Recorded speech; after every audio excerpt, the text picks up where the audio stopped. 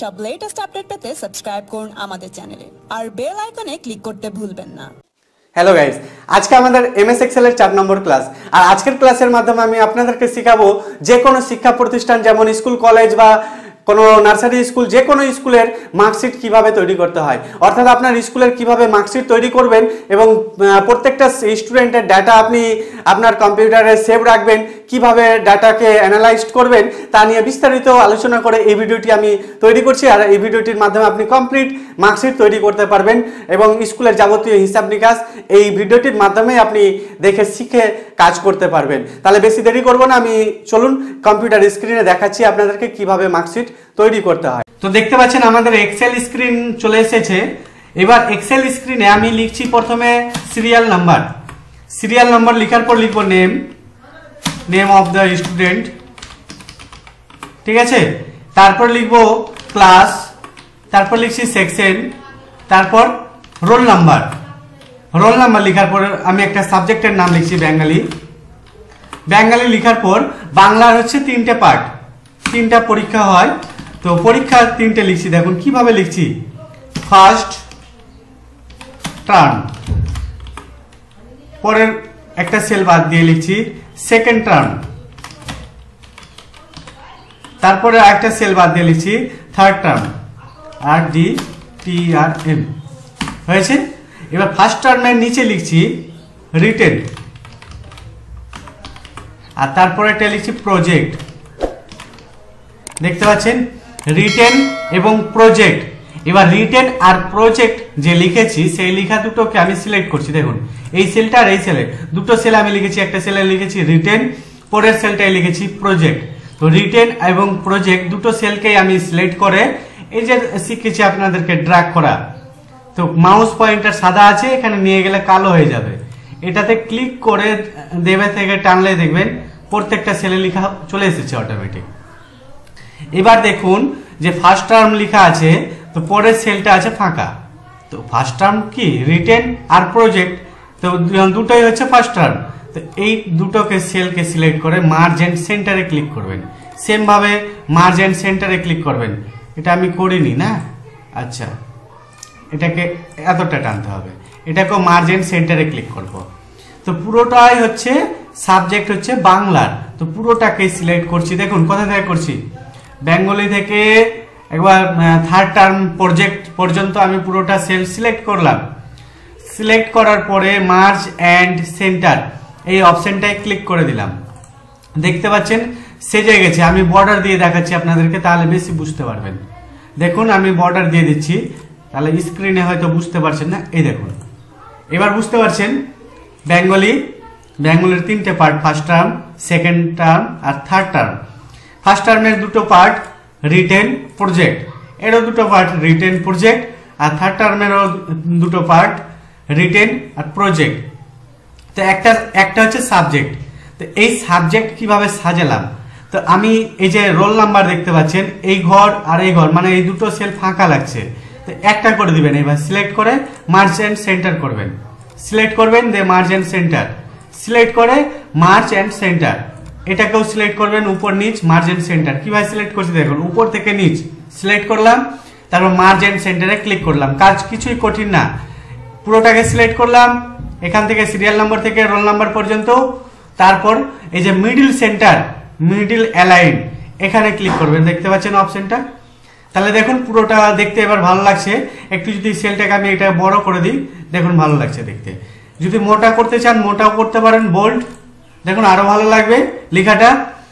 এবার আমাদের এই কাজটা তো হয়ে গেছে।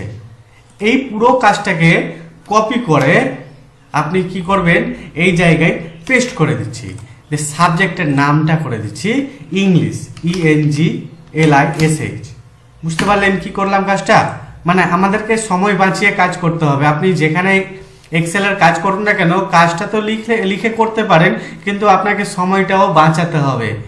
ঠিক আছে, একটা অফিসের বুদ্ধিমানের কাজ হচ্ছে সময় বাঁচিয়ে যে কাজ করে, তাকে স্মার্টলি কাজ করতে করা বলা তো স্মার্টলি কাজ করুন হার্ডওয়ার্ক দরকার নাই। আমি একটা করলাম কি? ইংলিশ নাম দিয়ে দিলাম। আবার কপি করে control plus C copy paste করছি কন্ট্রোল দেবে ভি দেখুন, আবার এই জায়গায় চলে এসেছে। সাবজেক্টের নামটা চেঞ্জ করে আমি রেখে দিচ্ছি mathematics M A T H E M A T mathematics নাম রাখলাম, তো বাংলা হলো, ইংরেজি হলো, অঙ্ক হলো। আর কি দরকার? না, আমার আরও দরকার, তো এইভাবে নিচে দেখতে পাচ্ছেন, এখানে স্ক্রল যে আছে হরাইজন্টাল এই স্ক্রলটায় ক্লিক করবেন, আসতে থাকবে সেল আবার সেম ভাবে দেখুন সিলেক্ট করলাম কপি দেখুন, এখান থেকেও করতে পারেন।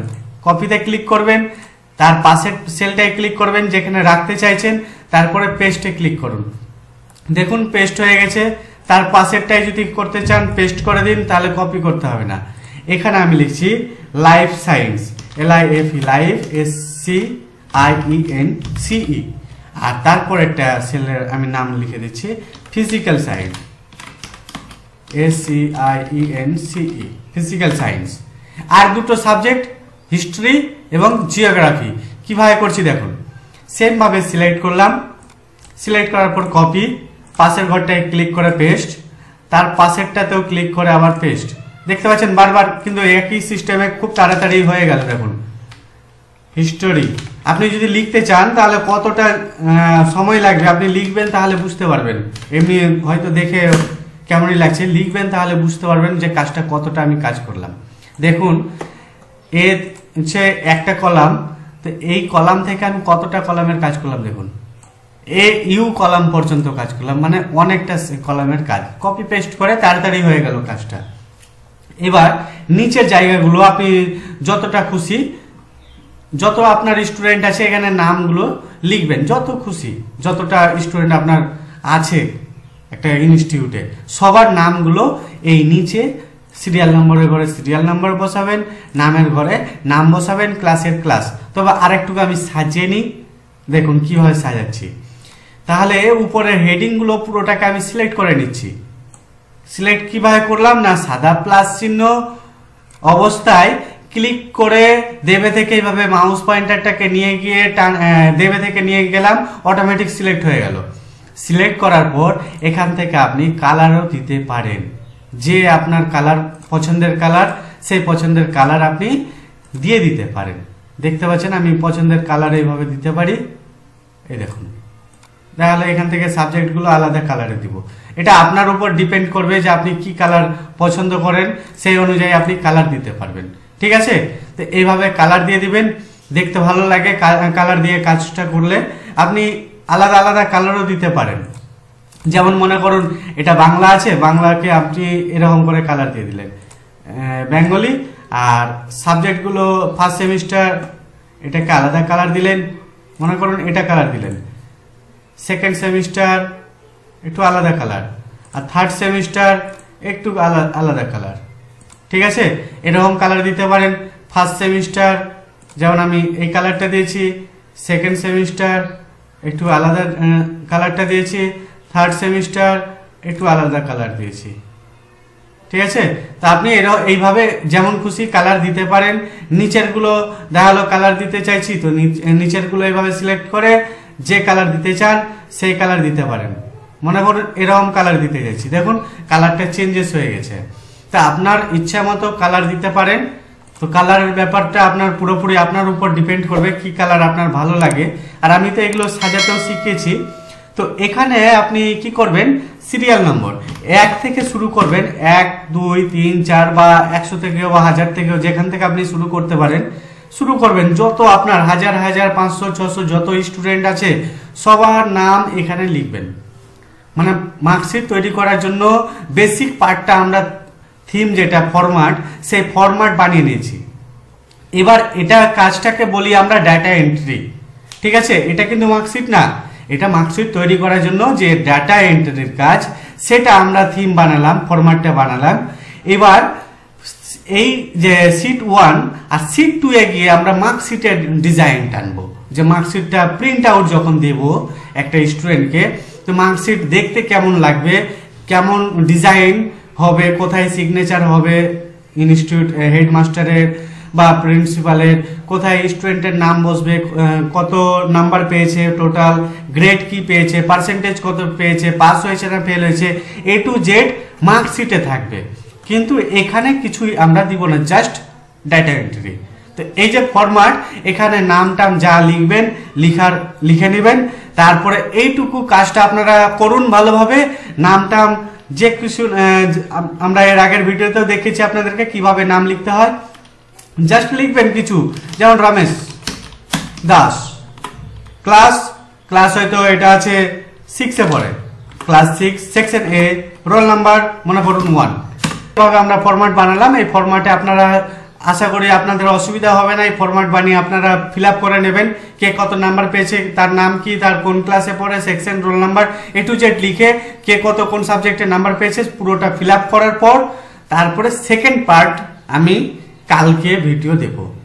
ভিডিও দিয়ে দেখাবো আমি সেকেন্ড পার্টটা কীভাবে আমরা মার্কসের ডিজাইনটা করব। আমাদের এই ভিডিওর সেকেন্ড পার্ট কালকে দেব। ঠিক আছে? আজকের জন্য এই পর্যন্তই। ভালো থাকুন, আমাদের সাথে থাকুন।